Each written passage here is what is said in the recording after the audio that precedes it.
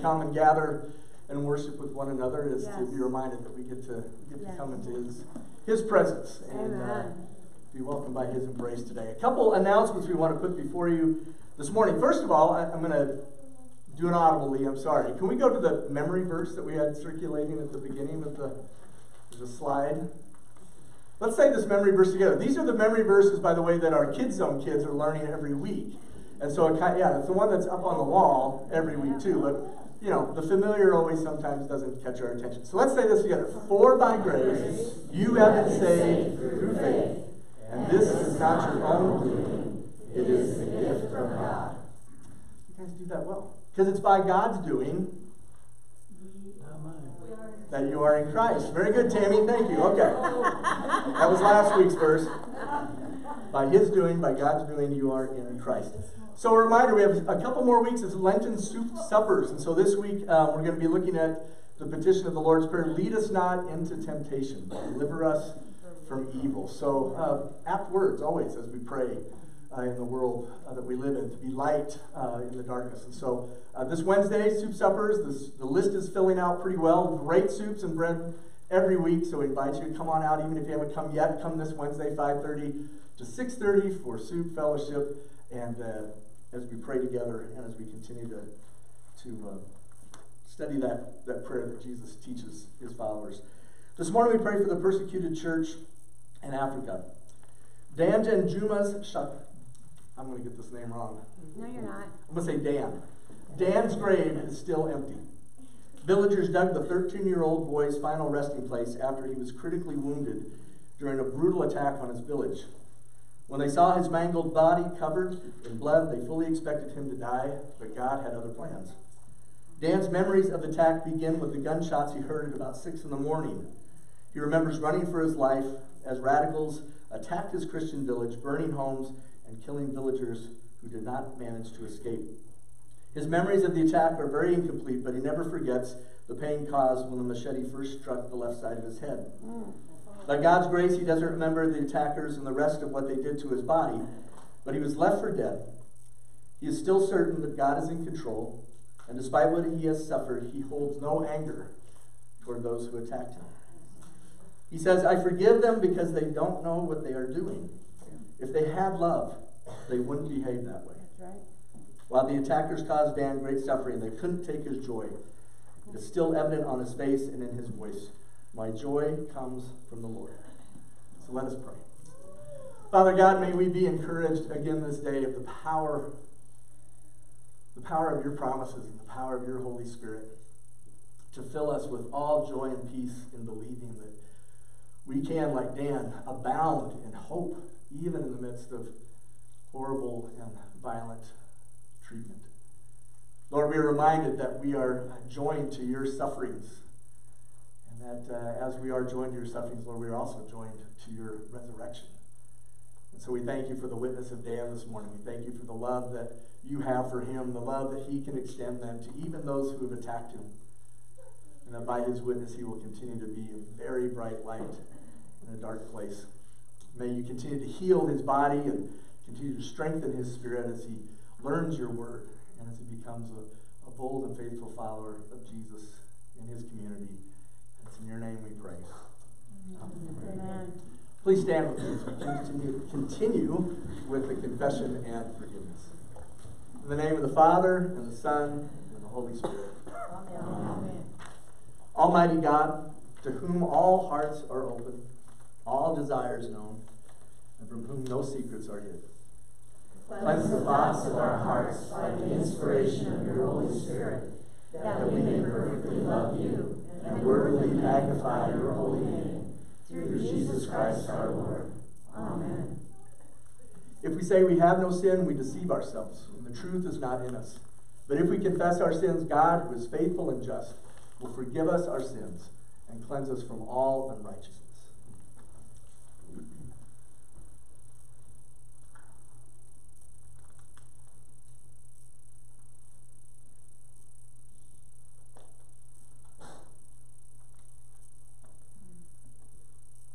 Most merciful God, we confess that apart from Christ, we are in bondage to sin and cannot free ourselves. We have sinned against you in thought, word, and deed, by what we have done and by what we have left undone. We have not loved you with our whole heart. We have not loved our neighbor as ourselves. For the sake of your Son, Jesus Christ, have mercy on us. Forgive us, renew us, and lead us, so that we may delight in your will and walk in your ways, to the glory of your holy name. Amen. In the mercy of Almighty God, Jesus Christ was given to die for you. And for his sake, God forgives you all your sins. To those who believe in Jesus Christ, he gives the power to become the children of God and bestows on you his Holy Spirit. Thanks be to God. Amen.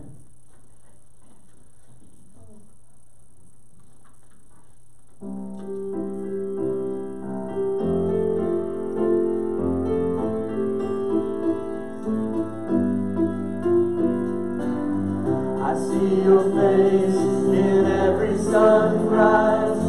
colors of the morning are inside your eyes.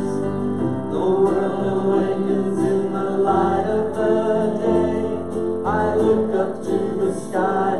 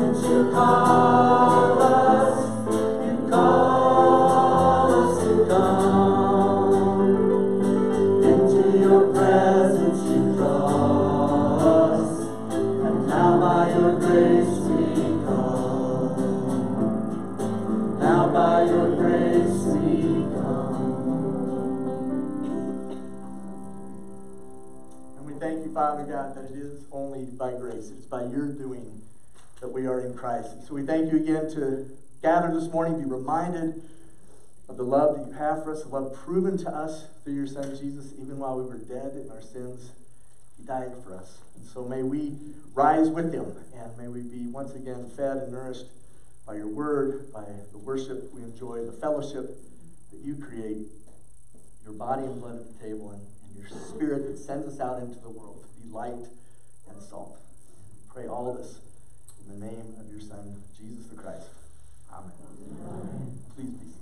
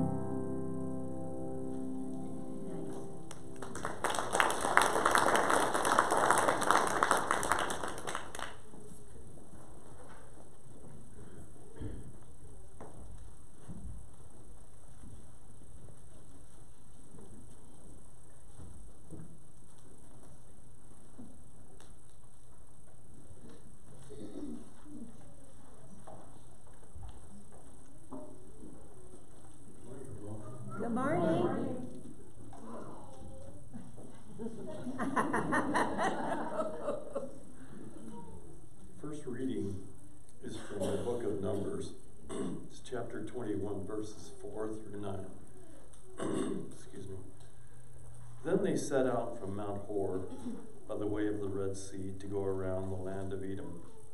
The people became impatient because of the journey. The people spoke against God and Moses. Why have you brought us out of Egypt to die in the wilderness? For there is no food and no water, and we loathe this miserable food. The Lord sent fiery serpents among the people, and they bit the people, so that many people of Israel died. So the people came to Moses and said, We have sinned, because we have spoken against the Lord, and you intercede with the Lord, that he may remove the serpents from us. And Moses interceded for the people.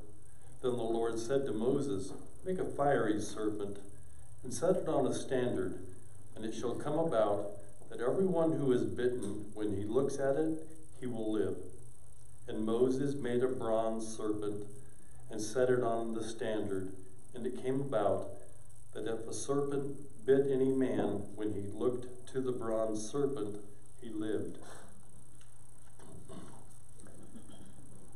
The psalm reading is 107, verses 1 through 9. Oh, give thanks to the Lord, for he is good, for his loving kindness is everlasting. Let the redeemed of the Lord say so, whom he has redeemed from the land of the adversary and gathered from the lands, from the east and from the west, from the north and from the south.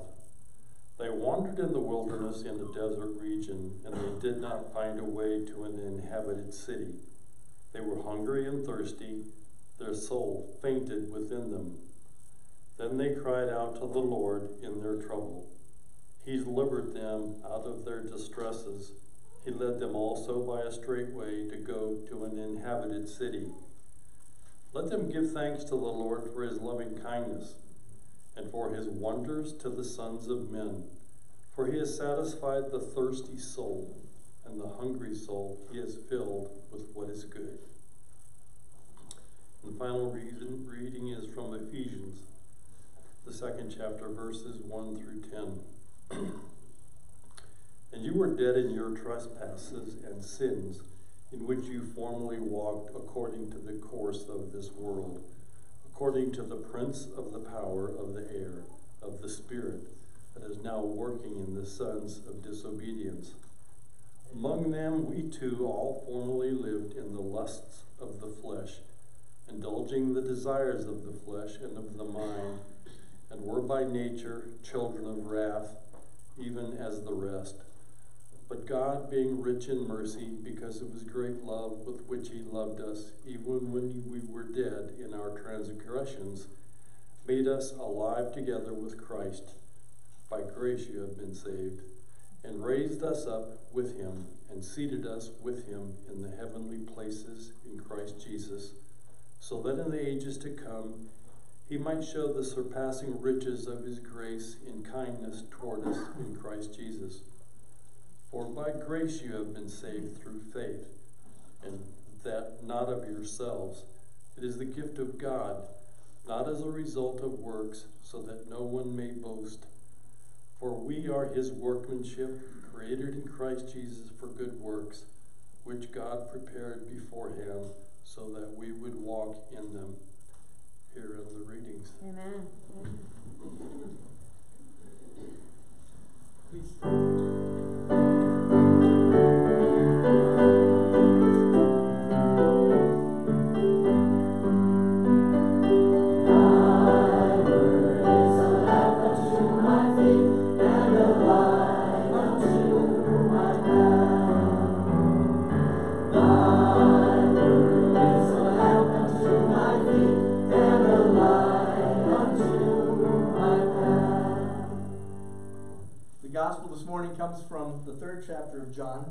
Beginning at the 14th verse.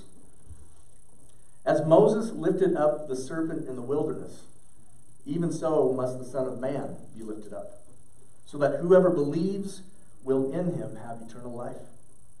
For God so loved the world that he gave his only begotten Son, that whoever believes in him shall not perish, but have eternal life. For God did not send the Son into the world to judge the world, that the world might be saved through him. He who believes in him is not judged. He who does not believe has been judged already because he has not believed in the name of the only begotten Son of God. This is the judgment that the light has come into the world, and men love the darkness rather than the light, for their deeds were evil. For everyone who does evil hates the light and does not come into the light for fear that his deeds will be exposed.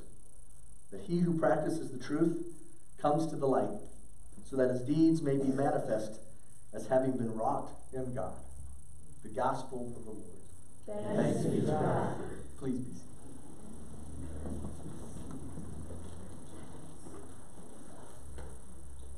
Invite the kids to come on up. Yes, thank you.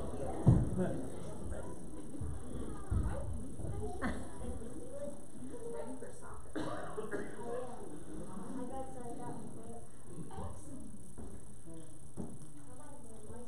Mic is not on. You got a red light. That means stop. Turn it on and off again. Red, green, There you okay. go. There we go. I was singing so well too. oh man. All right. So who remembers the last time they got a present? I mean, maybe Christmas, Valentine's Day was recently, right? Did you guys get maybe little gifts for presents? You ate all the chocolates already? Sounds like me. Five, okay. Last a day.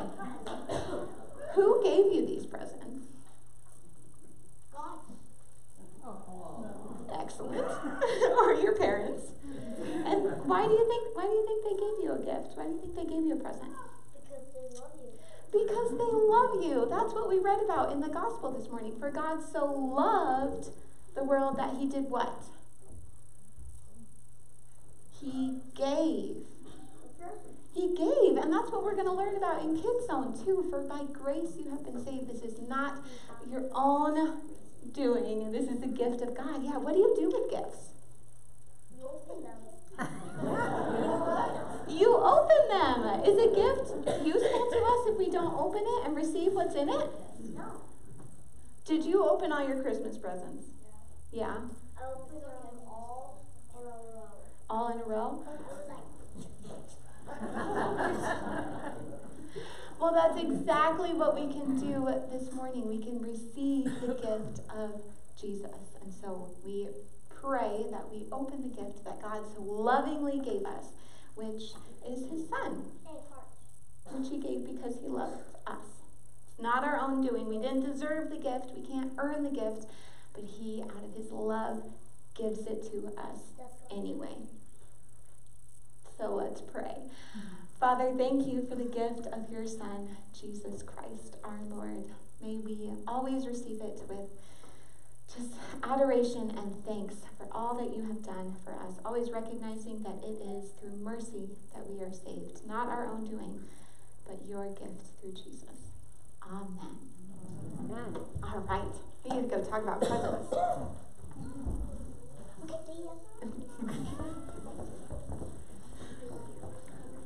Should have to bottle that energy.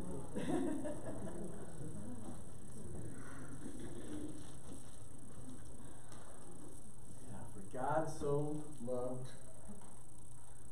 There we go. For God so loved the world that He Gave his only begotten son. gave. And He gave and He gave. We see that from before He even created male and female, He created them, right? On day Yep. six. Yep. From the very beginning, God gives, He speaks, He creates. There's light, there's sun, moon, and stars, plants, animals, water, fish. I mean, abundant, lavish. First John says that uh, how great is the love the Father has lavished upon us that we should be called the children of God, and that is what we are. Because by His doing, you are in Christ. There you go. That's good. So we have this very familiar text before us this morning. For God so loved the world that he gave his only son. We can all recite that. How about those couple verses before that? As Moses lifted up the serpent in the wilderness, even so the Son of Man must be lifted up. What? What's going on there? Right? In the book of Numbers, I'm just going to touch briefly because it's just such an odd little story, right? They're in the wilderness, grumbling again, by the way. Which, you know, as I heard Jack read it, I thought, oh my goodness, that's talking about me. Right? Right. Especially when it talked about, did you catch that part? It hit me, Jack, as you read that. It said, um, the people became impatient because of the journey. Anybody relate to being impatient because of the journey you might be on right now? Maybe it's the broad, sweeping journey of your entire life. Maybe, maybe you go there sometimes. The that broad existential thinking about, you know, why am I here? Maybe it's just the journey of waiting for that doctor's report. Maybe it's the journey of hoping the paycheck will cover this month's expenses. Maybe it's the journey of a relationship you hope to see reconciled in your lifetime. Maybe it's the journey of you fill in blank, right? How often we can become impatient along the journey and our tendency, like the, like the Israelites, was to grumble mm-hmm. and complain. Now, God isn't opposed to grumbling and complaining. The book of Psalms, the, the whole collection of Psalms, the prayers of God's people are full of praise, adoration, complaint, whining, grumbling. But they're a reminder always, like Psalm 107 shows us. Read, read the rest of the Psalm 107, of, of Psalm 107 sometime this week. It's this beautiful rhythm right? Of the goodness of God, and then the people stray or stumble or fall or wander away. They get into trouble. They cry out in their distress. And each and every time, that loving and merciful God, whose mercy is everlasting, delivers them out of their distress. It's an amazing recall for us to remember that even in our grumbling and our complaining, God is faithful to live. But but but we can't ignore in Numbers. We'll come, let's come back to that just for a second. Listen to the instructions God gives to Moses when he intercedes for the people. It's interesting too that the people don't go to God themselves to intercede. They they grumble to Moses and then they ask for Moses to intercede for them again. Because they realize they've spoken rashly and Moses intercedes. And then God's instruction is to make a bronze serpent. Um, excuse me, didn't God say don't make? Yeah. Yeah graven images. Now, granted, the graven image isn't a graven image of God, but neither was the golden calf. But this time, God is directing the instructions. Make the bronze serpent, put it on a, on a stick, on a staff, and when anyone is bit by a snake, they're to look to the, to the serpent, to the, to the, and they'll be saved. I wish I could explain it better to you, and I'm sure there are much wiser people who can. Except that, will the people listen to God or won't they? They've already been grumbling against him after they've delivered him. We've already been grumbling against God after he saves us. Mm-hmm. Impatient with the journey that we're on. And so when God gives instructions about a remedy, I think we're probably wiser to say yes rather than to argue the theology and the intricacies at the moment. Now, later on, we'll, we'll hear about King Hezekiah who destroys the serpent because guess what the people begin to do? They begin to worship it. Yeah. Not just look upon it as a reminder of who God is, but they begin to turn it into an idol and worship it. Hezekiah, as he destroys all the idols and altars of his day, destroys that bronze serpent as well. You can see that in 2 Kings. But then Jesus brings it back to the memory of the people as he goes into one of our favorite all time beloved verses God so loved the world. He says, Just as Moses lifted up the serpent in the wilderness, so must the Son of Man be lifted up. And all who look upon him will be saved. For God so loved the world. God did not send the Son into the world to condemn the world, to judge the world, to accuse, or to uh, damn the world, but he sent his son into the world to save it, save us, deliver, redeem, purchase back, ransom. There's a lot of words that could be plugged in there to remind us about why Jesus comes. And in a world that has labeled Jesus as all kinds of things, because Jesus' followers aren't always the greatest at following and showing Jesus, we're brought back to who are we actually going to look to? The followers of Jesus or Jesus? We got to come back to Jesus. That's why we're that's why I'm here today. to remind myself that it's not about looking to me or my success rate in following, but to Jesus. He is the only one who has been lifted up for us. He is the one who has come to save us. And then we go into those beautiful passages that Paul writes to the church of Ephesus. The, the passages that are all over our walls, uh, the passages for the Lutheran tradition that are kind of benchmark, bedrock of what it means to be in Christ. It means His doing alone, not our own. It's not by our works, not by our efforts, but by God's doing alone. If you have your Bibles, I, I invite you to turn to Ephesians for just a few moments as we kind of walk through these passages. Paul begins by reminding the Ephesians in chapter 1, or the church at Ephesus in chapter 1, about who they are in Christ. Right? Which is always a great reminder.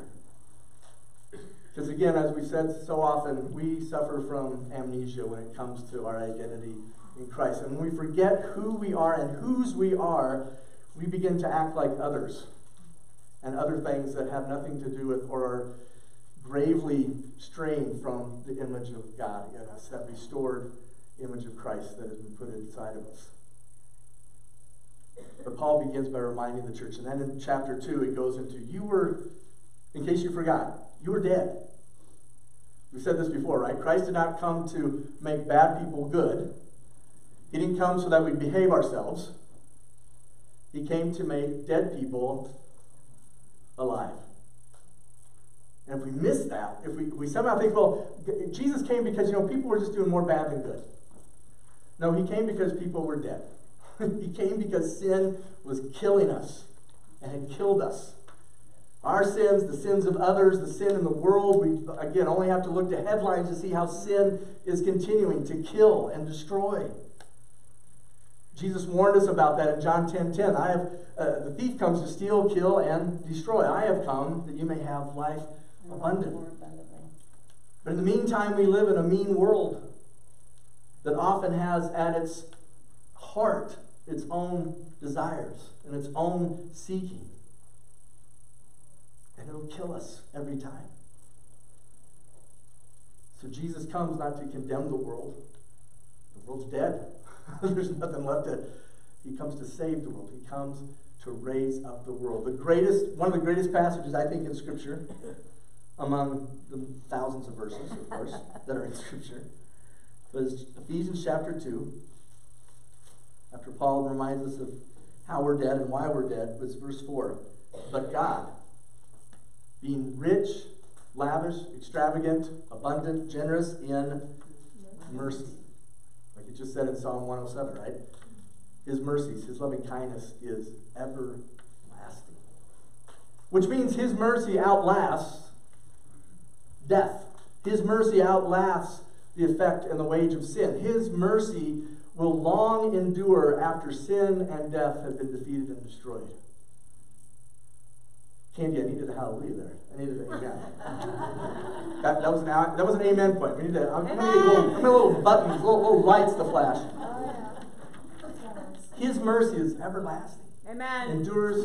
and then we need a red light. Oh. Or maybe a purple light. That would be even There you go.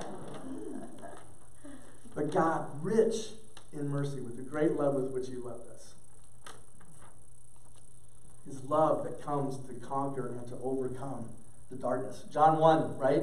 The light shines in the darkness, and the darkness will not overcome. It will not outlast. Even when we were dead, chapter uh, back to Ephesians 2 5, even when we were dead in our transgressions, we are made alive together with Christ by grace.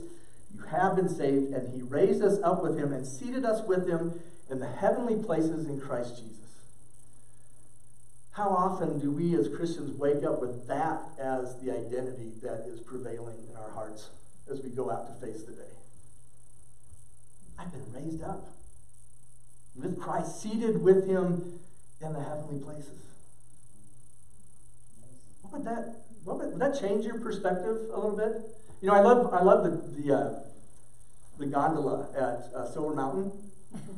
You know, I love going up there in the summer even. I, love getting up there. I don't do it as often as I like to because once you get up there, everything looks different. In the winter, you go up there, right? It could be storming here, and you get up above the cloud cover. Oh, sunshine, beautiful. And I think about that verse in the same way. We have been raised up with Christ and seated with Him in the heavenly places. We have a whole new vista of, uh, and a whole new way to look at the world and the things going on around us. We have a way to see that we couldn't see before. One, because we were dead. But now that we've been made alive, we are reminded now by Paul in this letter that we now have a position that is because of Christ. It's, it's what we get to inherit because of Jesus, that we now get to see the world in a different way. We may reject that sometimes, we may refuse to accept what Christ has done for us, but it doesn't change that Christ has done this for each and every one of you. We've been raised up and seated with Christ in the heavenly places, so that in the ages to come he might show the surpassing riches of his grace and kindness toward us in Christ Jesus. Paul almost says it, it almost becomes too much, doesn't it, sometimes? What Paul is trying to convey to us. Because of the great love with which he loved us, Christ, God rich in mercy, uh, we're made alive together. He raises us up in the heavenly places so that he might show his surpassing riches to us. And how often do we walk around like Israelites, whining about the journey? Where, from God's perspective, the journey involves being seated at the right hand with Christ as we're going through this, the things of this world. You see, and that's kind of the, the main uh, method, I think, of the world and the enemy, the flesh, our, our own flesh sometimes, is to steal away who we truly are in Christ. Because it can't be this good. You know, we've learned, uh, any lifelong Lutherans, you've learned that you better not talk about being too good because then you're proud. And Paul is saying, this isn't about pride. This isn't a, he made it clear, this isn't about, this isn't about what you've done. This is exalting what Christ has achieved for you. This is the reward Christ has purchased and then gives it to you freely. God, being rich in mercy with the great love with which He loved us, He's bestowed these things upon us. For by grace, verse 8, you have been saved through faith, not of yourselves. It is a gift of God, not a result of works, so that anyone may boast. For we, verse 10, we are God's workmanship. Now you might be able to see the fingerprint up there, because I like that thought of it. You know, you're, you're covered in the fingerprints of God. He formed and fashioned. It kind of harkens back to the very beginning when God made Adam and breathed life into that dirt, that mud, that clay, and, and he was a living being. He breathed the Spirit into us, and that's what he does in Christ. We are raised up, we are, we are raised up with Christ, and now he breathes his life into us. And we become God's workmanship in the world. We become, we become the, the craftsmanship. Some translations say masterpiece. Because guess what? God's a pretty good workman, workman, don't you think? He's a pretty good craftsman. Oh, yeah. Right? All those trees, Mm, yes. all those birds, all those colors, all those flavors, all those smells and sounds and sights. And the pinnacle of his creation is you. That's why he went to such great lengths to save you. That's why he was willing to send his son to save you, us. Because he so loved us. So, what would it look like to have that perspective in our psyche, in our spirits, in our hearts and thoughts as we enter the work week? Maybe even as we leave this place today. By his doing, you are in Christ. I'm going to have you turn to your neighbor and tell him this. You are God's masterpiece. You are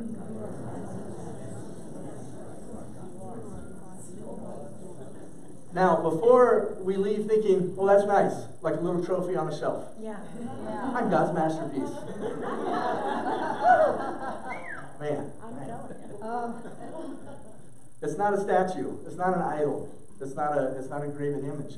You're God's workmanship, created in Christ Jesus to do good works, which God prepared in advance for you to do. I mean, think about this. The, the God who was thinking of you before the foundations of the world, that's mind blowing enough, Yeah. had thought of you, had you know, imagined you, had No, also had purpose and plans for you. no. It's amazing. It's amazing. God has created you and fashioned you with a purpose and a meaning. And, and we, we're living proof also that there's an enemy out there to try to steal that away from you and to steal that away from us. To have us forget what we've been called and what we are in Christ and what we are called to be and become in Christ. But it doesn't change what is true. No matter what the journey has held for you so far, I pray this morning you wouldn't let your impatience get the better of you but that you trust in the one who is continuing to form and fashion you, the one who has raised you up and seated you with Christ in the heavenly places, and is continuing to do that good work, and the one that says in Scripture that will complete the good work he intends in you. That sometimes may seem like the most impossible thing of all to believe, especially when we're in that wilderness moment or that season Yeah. where it feels like we're way off track. We don't know how to get back. I don't even have energy to grumble and complain anymore. But God has never lost sight of you. Because you're seated with Jesus in heavenly places, even in the midst of the wilderness. You are the one He's raised up. You are the one He continues to pursue and continues to bring to completion the work that He began in you when He first thought about you from before the foundation of the good news about that is that all the ways the world has attempted to steal that away and, and stray you from that truth is overcome by Christ. The truth remains at the end of the day, not the lies. For you are God's workmanship, you are God's masterpiece, created. That we're created involves intent and purpose, intended by God for His good work. And so I pray this morning, no matter where you might feel like you're at in the journey, maybe you've been bitten by a few snakes. Maybe you've had those doubts and those complaints and grumbling, and God has pursued you. In Christ Jesus, we, we were reading about this in Galatians this morning. The fullness of time comes, Christ comes into the world, born of a woman, born under the law, for us who are born under that condemnation, and he comes to set us free Amen. and to bring the life he has always intended for you into existence. Let us pray. God, you so loved us that you sent your Son into the world not to condemn, but to save. By your Holy Spirit again this morning, I pray, Lord, you would, you would instill that truth deep into our roots. That you would displace the lies of the world and our flesh and the enemy. That would have us believe other things about who we are and what we are and that you remind us what you have purposed and intended through Jesus. In Christ, it is a finished work. And in this life, Lord, we continue to, to live it out and have you will and work in us to your good pleasure to complete that work in us. Because you are a God rich in mercy. Now may the peace of God, which passes all understanding, guard our hearts and minds in Christ Jesus. Amen. Amen. Please stand with me as we sing our next song, number 300, O Christ our hope.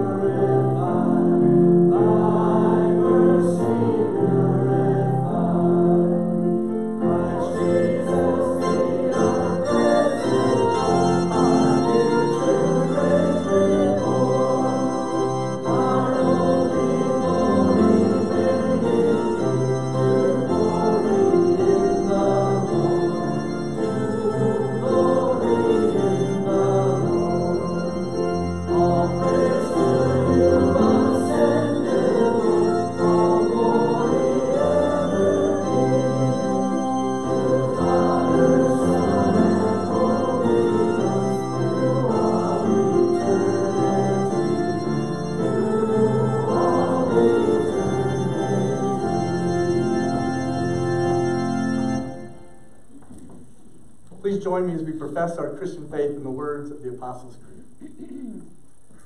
I believe in God the Father Almighty, creator of heaven and earth. I believe in Jesus Christ, his only Son, our Lord. He was conceived by the power of the Holy Spirit, born of the Virgin Mary. He suffered under Pontius Pilate, was crucified, died, and was buried. He ascended into hell. On the third day he rose again. Ascended into heaven and is seated at the right hand of the Father. He will come again to judge the living and the dead. I believe in the Holy Spirit, the holy Christian church, the communion of saints, the forgiveness of sins, the resurrection of the body, and the life everlasting. Amen. Let us pray for the whole people of God in Christ Jesus and for all people according to their needs. Oh, give thanks to the Lord, for he is good, his mercy everlasting. Let the redeemed of the Lord say so, whom he has redeemed from the hand of the adversary and gathered from the lands from the east and from the west, from the north and from the south. And Father, we appeal and, and, praise you for your mercy and grace that you extend to the whole world. And we, we pray for our brothers and sisters in the east and the west and the north and the south. We think of uh, Central Africa, where Dan is a bright light shining in the darkness. As you continue to heal his body, remind us of the way that even though your people at times journey through shadowlands and valleys, Lord, that you are the one who will continue to raise them up and provide for them that you are the one who has redeemed them and will never lose them. We pray for our brothers and sisters in Haiti, Lord, as they continue to struggle under gang violence and, injustices that we can't even imagine. And we pray too for them, Lord, that you would continue to fill your church, fill your people with hope and love and prayer, that they would know your protection and your provision, Lord, in your mercy. We wandered in the wilderness and desert regions. We could not find our way. Hungry and thirsty, our souls fainted within us. And then we cried out to the Lord in our trouble. You delivered us from our distress. We pray that you continue to hear our cries, God, our grumbling, our complaining, our worries, and our cares.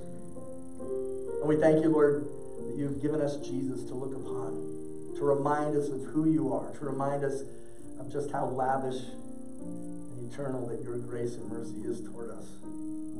Hear the cries of all who are displaced, hungry, and homeless because of war, famine, and violence. Grant again your provision of daily bread. Fill with joy and peace and believing.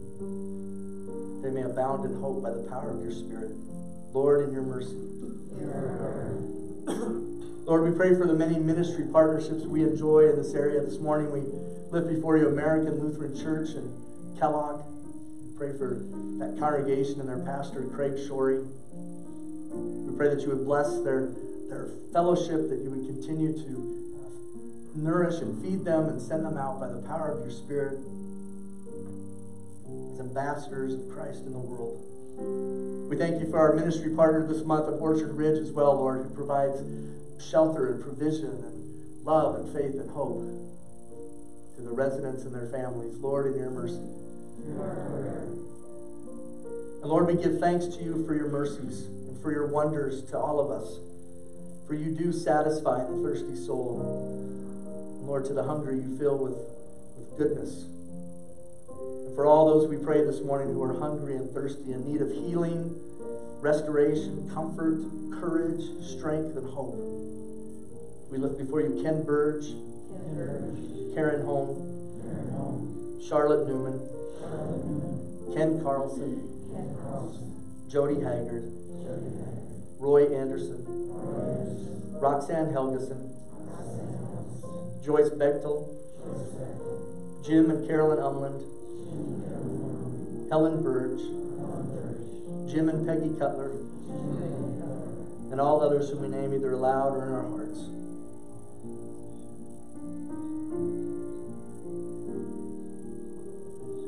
Lord, in your mercy.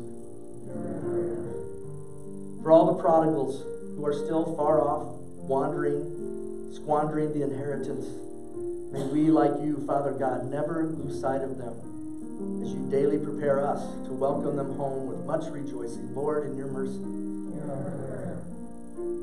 Into your hands we commend all for whom we pray, trusting in your mercy through your Son, Jesus Christ our Lord. Amen. Peace of the Lord be with you. Please share his peace